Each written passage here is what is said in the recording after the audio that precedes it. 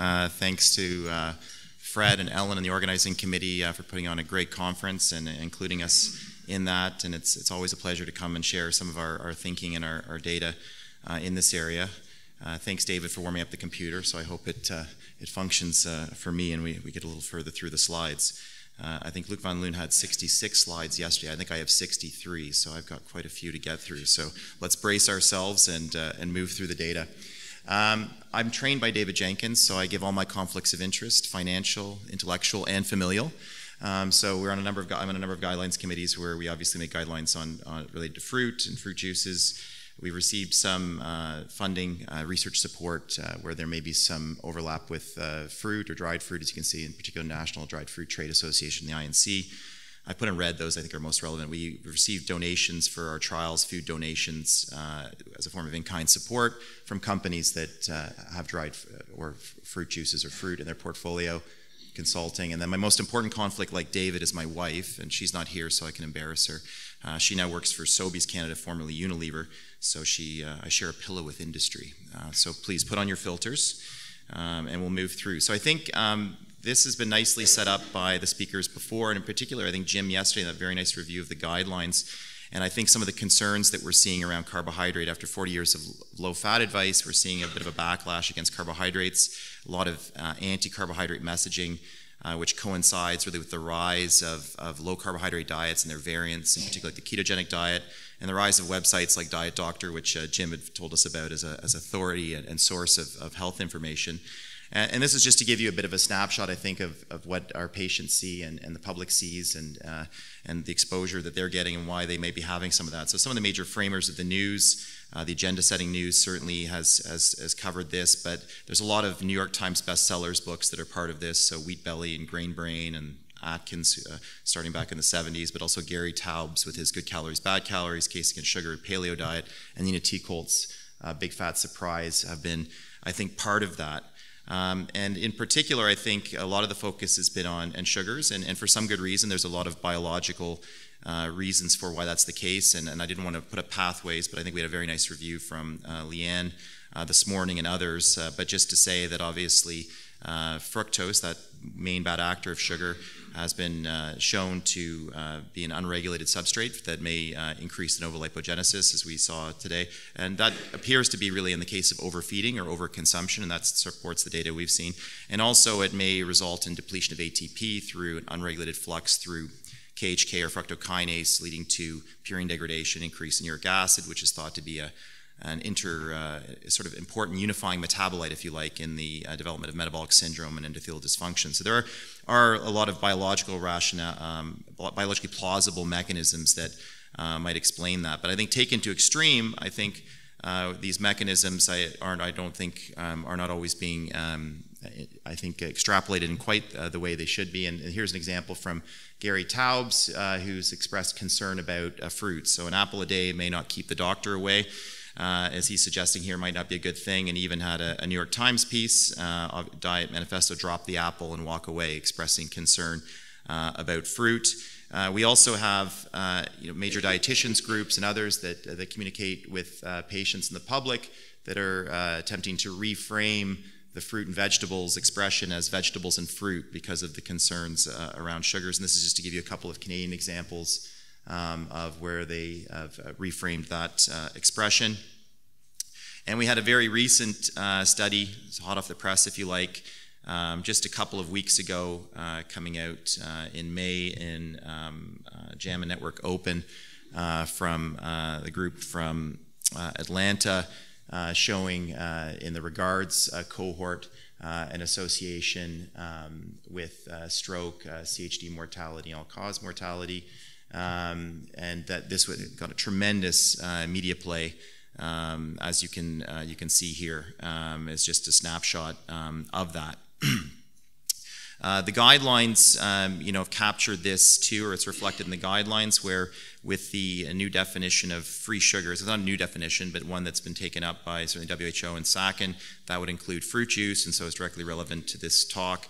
And then even the International Diabetes Federation, uh, which has expressed some concerns about fruit, revision of healthy eating guidelines to reduce consumption of foods with naturally high sugar content, examples, certain fruits and fruit juices.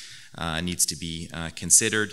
And in terms of general dietary guidelines, um, we also have this example from Canada, and I, I think we see this uh, universally. So, in terms of food based dietary guidelines, fruit is one of the, uh, the most uh, cited recommendations. Uh, it's a universal, really, across all food based dietary guidelines internationally.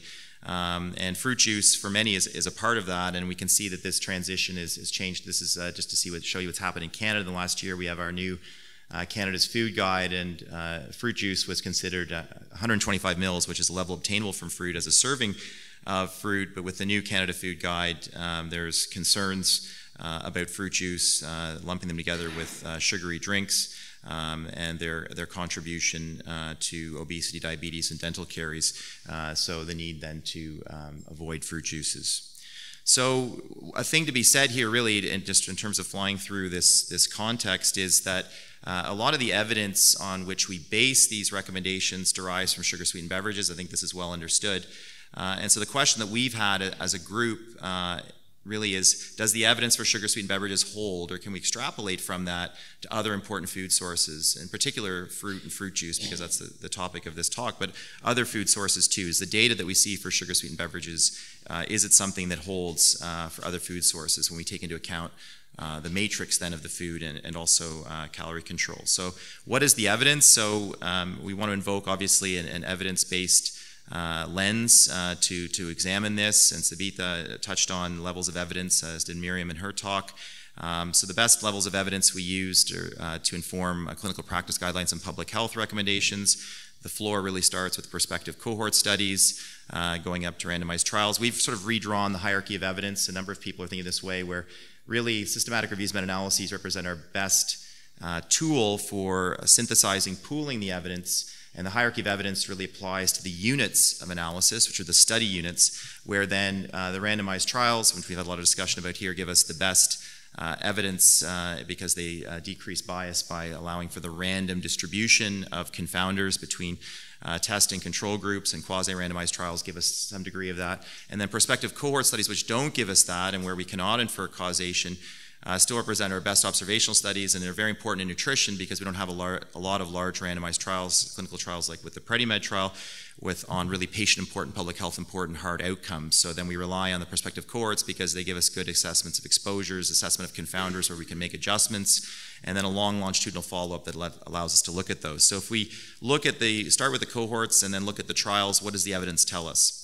So we've done a, a so if we look at the cohorts, we've done a, a series um, of systematic reviews and meta-analyses looking at the prospective cohorts that have been funded primarily through the Canadian Institutes of Health Research to examine this question of important food sources of sugars, uh, where we've captured fruit and uh, fruit juice uh, as part of that.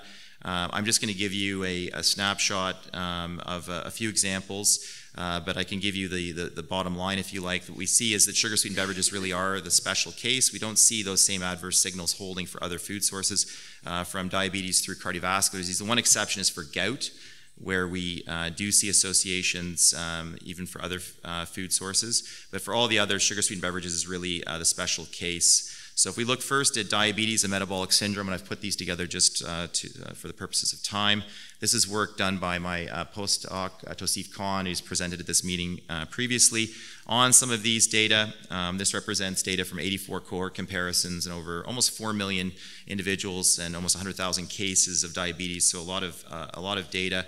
And what you can see here is we do see an adverse association with sugar sweetened beverages, fruit drinks, and I think this gets to the distinction that Jordi was talking about, even fresh versus bottled, and then there's fruit drinks and mixes, but fruit drinks and mixed fruit drinks, but we don't see that for other sources. And in particular, um, if we look at fruit juice, uh, which I put there as a little orange juice glass for you, we don't see uh, an association. And we see actually protective associations for a number of other food sources, which I think are important. And we talked about, we saw some of the data for yogurt, for example, uh, but also for whole grain breakfast cereals. Ice cream, I don't think we need to leave the room thinking that we're going to consume ice cream to prevent diabetes, but I think uh, it still, I think, gives us, it may be behaving much like the yogurt without the, without the culture, obviously um, but uh, with the, the, probiotic component. But it it, uh, it may well be uh, something to do with again with uh, the matrix, with dairy matrix, and chocolate. And we'll see chocolate a lot, so I'll make friends with you early. Um, if we look at metabolic syndrome, uh, we see a similar story. We see the association with sugar sweetened beverages. Uh, we don't see the same adverse association for other food sources, uh, in particular for uh, fruit juice, which is designated there again with the orange juice glass, or fruit, which um, and yogurt, we do see a, a, protective association. What's interesting is I'm going to show you um, the relationship, though, and it really this looks a lot like what Jordi showed you. Is there a pointer? I think there is here. Um, what you can see here um, is really what is a, a curvilinear relationship. So where you have a, uh, a linear, more linear relationship with sugar sweetened beverages, and this is pretty consistent over the uh, the dose range, what you actually see for 100% fruit juice, and, and Jordi showed you this with metabolic syndrome in PREDIMED, uh, is you see this uh, nice curvilinear relationship. So actually at a level of about 125 mils, which is actually where our previous guidance was, which is the level obtainable from a piece of fruit, um, you actually see a protective association with metabolic syndrome. And then as you increase beyond that, in particular, once you get out about 170 mils here, you start to see an adverse association. So we see this uh, threshold for, um, if you like, uh, for harm up here, below which we see um, associations uh, with benefit, where sugar sweetened beverages, we tend to see the association straight through um, the dose range. Um, if we look at hypertension, similar story. So we see uh, an adverse association with uh, sugar sweetened beverages. Um, we don't see that adverse association holding for other food sources, and we actually see protective associations for fruit. Uh, again, very consistent uh, signal. Yogurt uh, and dairy desserts, again, don't overinterpret the signal. Um, and we don't see an adverse association for fruit juice, but actually, if we look at the way it's modeled, again, we see this interesting same curvilinear relationship. So, we, where we see a more of a, a linear relationship, it has a curvilinear tail to it, I guess, of sugar sweetened beverages over the dose range. We see here is actually a protective association at intermediate intakes. Uh, and really, uh, and it's a little bit higher here, now getting out to about just about 250 or above. Around 250 is the nadir here, where you see the maximum protection. And then once you get out beyond a half a liter, which is actually quite a bit, you see uh, the adverse associations begin to um, appear. Uh, cardiovascular disease, you saw some of these data um, in uh, Dr. Jenkins' presentation and David's presentation. Uh, I'm going to focus on a few more items and the fruit juice in particular. So here we have data from Rodney, who's filming this presentation. Thank you, Rodney, uh, from his PhD project. It's been quite a, a large project, and we're, we're, hoping to get it published soon. 134 core comparisons, more than 5 million individuals, uh, almost 200,000 cases of uh, cardiovascular disease, CHD, and stroke. And what you can see here is that again, sugar sweetened beverages is not a universal, but is the is the um, is the is the one sort of negative signal or adverse signal that we see. We don't see it for all um, cardiovascular uh, subtypes here, but we do see it for cardio, uh, coronary heart disease incidence, and we don't see any other adverse associations. And we actually see protective associations again for fruit, uh, which David showed you, uh, but we actually also see a protective association for fruit juice here um, uh, for stroke incidence. And then a number of other foods, uh, such as yogurt again, coming through, breakfast cereals, and chocolate um, as uh, food sources that show protective associations, but no other adverse associations. Really, uh, it's uh, specific to um, uh, sugar sweetened beverages. If we look at CV mortality, the more patient important, public health important outcome, again, we see an adverse association for sugar sweetened beverages. It's the only adverse association we see. And we see uh, protective associations for a number of, of, food sources. If we focus first, obviously, on the fruit and fruit juice, fruit, we see a protective association for all three. We see a protective association for CHD mortality and stroke mortality uh, for the uh, fruit juice. Um, and then we see uh, some signals again, as you see again for, uh, for breakfast cereals not for chocolate. So sorry, chocolate doesn't help us with mortality. Um, evidence, so I just wanted to summarize it as it relates to evidence for fruit, 100% fruit juice. So this is all the summary plots put together. And what you can see here is that I think the fruit juice is behaving uh, a lot more like the fruit than it is a sugar sweetened beverage, where most of these would be red. Except the one exception here is gout, but we see either no adverse associations for diabetes, uh, CVD, or CHD, um, but protective associations for hypertension, uh, for stroke, as we said, stroke mortality, and CHD uh, mortality, just to summarize. Oh, and I, I've put in a lighter green here. Sorry, it's harder to see the metabolic syndrome just to reflect that you do see it on a curvilinear relationship at intermediate uh, levels of intake. Um, if we look at uh, again, this study, just to come back to it quickly, uh, the REGARD study, because it received so much attention, just to highlight this curvilinear relationship, and, and Tauseef quickly plotted this up out when it came up. He had to kind of dive into the supplement to get the data. It's interesting, they didn't actually show the data for fruit juice. So what they did is they just they looked first at, at sugary beverages, and they actually did not find an association on extreme quantile analysis. They only saw it when they modeled um, it as a linear relationship per 12 ounce serving, and then they showed at that point uh, the data for 100% fruit juice and sugar sweetened beverages showing, or I should say fruit juice, and it wasn't clear there was 100%, and, and, uh, and sugar sweetened beverages showing an adverse association uh, for all cause mortality. But if you actually look at the data for this is for sugary beverages, not fruit juice, they don't have that data. We'd like to get it. But you actually see here again this curvilinear relationship, which may well be driven a lot by the fruit juice, where intermediate levels of intake, um, we don't see an adverse association. It's not a significant protective association. You can see there's wide confidence intervals here, but really you'd only see an adverse association once you get out uh, beyond uh, quite a high level of intake. Certainly well beyond where our public health recommendations are, so beyond the 10%. Uh, if we look now at the randomized trials, um, I have less time to go through it. I'm not sure what happened to poor Vivian's picture. She's disappeared, but she should be there, and she does good work with us. Um, so we've done a, a, series of systematic reviews and meta-analyses um, on this topic. Actually, Vivian's is published. I'm sorry, I have to update that. Uh, looking at from body weight to fatty liver. I don't have really an opportunity to go through all of these in turn, and David showed you the blood pressure data, uh, but I have summarized it. So just to give you a recap, um, we did uh, we, we, we, stratified the data two ways. The first way was by level of energy control. So we had a priori four a priori study designs, substitution trials. This is substituting. Uh, it's an energy isocaloric swap, if you like, the food source of sugar for uh, another non-sugar containing uh, source. Addition trials where the food source of sugar is added on top of the diet, adding necessarily excess calories, so an imbalanced uh, comparison, so provision of excess calories, subtraction trials where the entry criteria is they're already consuming, usually sugar sweetened beverages, and they're randomized to reduce those, usually through water or low calorie sweeteners or just uh, instructions to reduce. So, subtraction of those calories. And then ad libitum, which is probably the best design, which is the free replacement of um, sugar of, of, sugar containing foods with um, other uh, macronutrient sources. And then within those, we looked at, at different food sources. And so, what you can see here um, is that uh, we see under substitution, really, I think the first thing to say is uh, most of the adverse associations that we see um, are seen under addition conditions, the provision of excess calories, and I think that came out in Leanne's talk today about over uh, feeding type studies. Um, that where we actually see it, and in most cases, it's sugar sweetened beverages that show that signal. In a lot of cases, because that's been the main modality that's been actually looked at as a beverage, but it's the beverages that show that. And in terms of protective, or uh, we don't really see much in the way of adverse associations under substitution conditions. We see lots of protective associations for fruit, and I'll isolate those in a minute.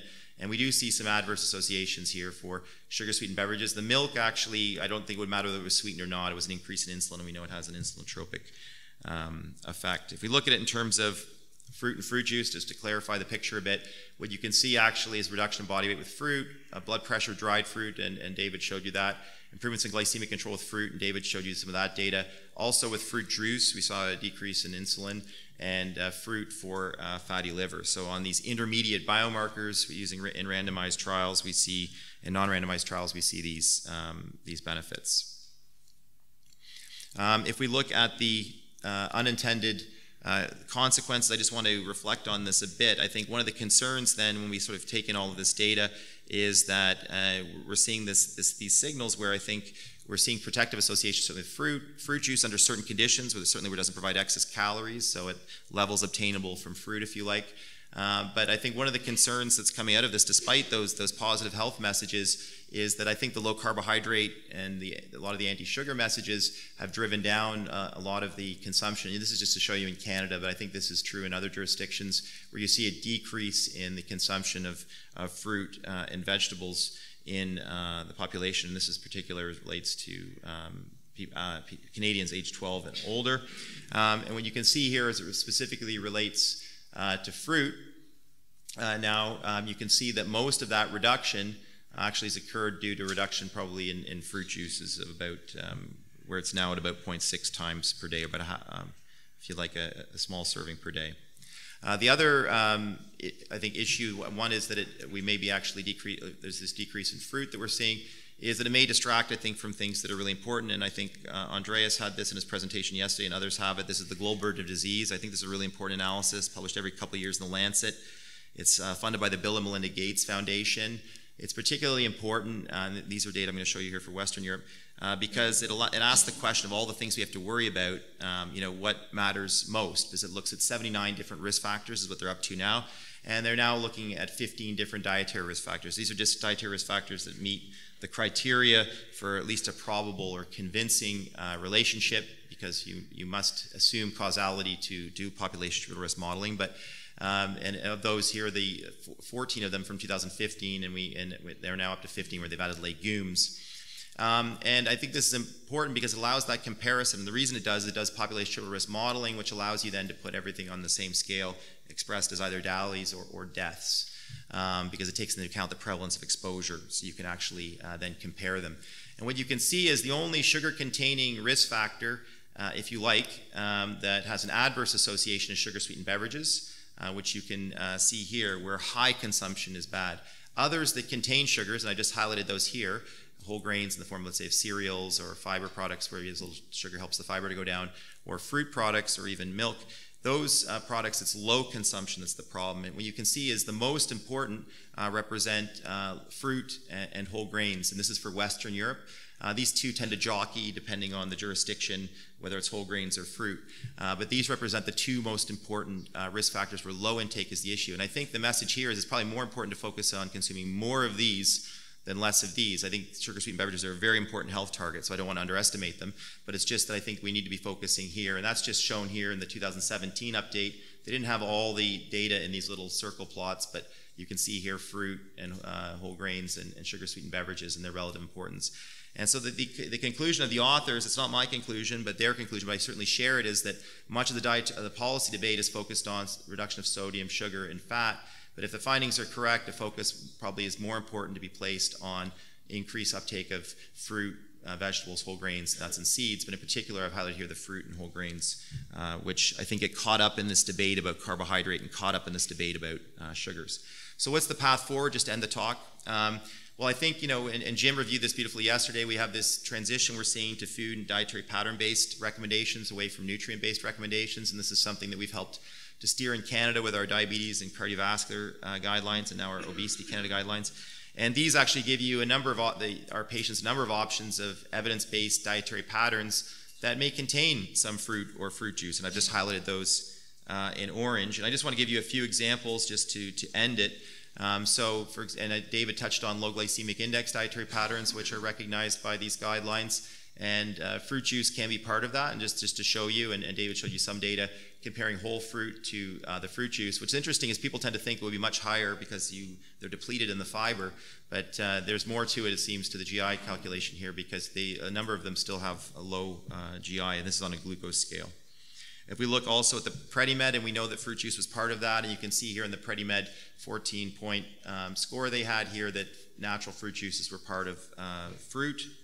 Um, and you can see here as part of the DASH diet that they also have a provision for 100% uh, fruit juice. So fruit juice can be part of those healthy dietary patterns.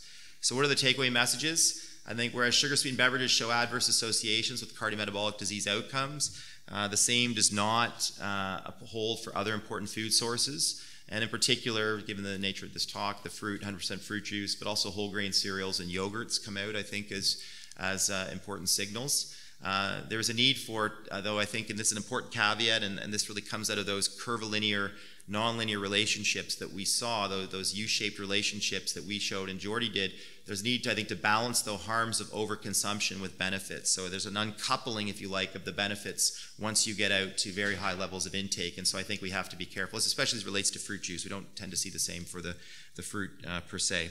To address the limitations in the evidence, clinical practice guidelines, I think are already moving in that direction and moving towards food and dietary pattern-based recommendations that uh, almost all universally include uh, fruit or 100% fruit juice as part of those. So with that, I just want to acknowledge some of the sponsors of the work, and I want to also acknowledge the, the wonderful team that has provided so much of the data uh, for that I was able to present to you. So thank you very much.